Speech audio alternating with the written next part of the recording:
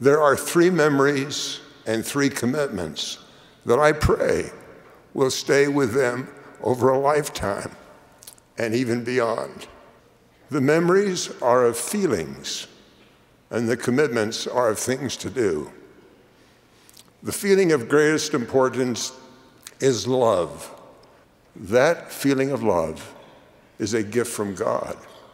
The scriptures call it charity and the pure love of Christ. You have felt that love tonight, and you can receive it often if you seek it.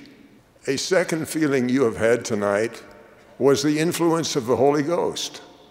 Sisters have promised you this day that the Holy Ghost will guide you to find the service the Lord would have you give to others for Him. The third feeling you have had tonight is that you want to be closer to the Savior.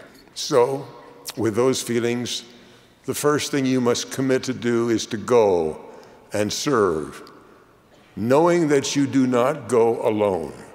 Now, the second thing you must do is remember the Lord as you go in service for Him. My hope at the sisters in our family will do the best they can out of love for God to serve those in need. And the third thing I hope they will do is to be personally modest about their good works. Heavenly Father hears and answers our prayers.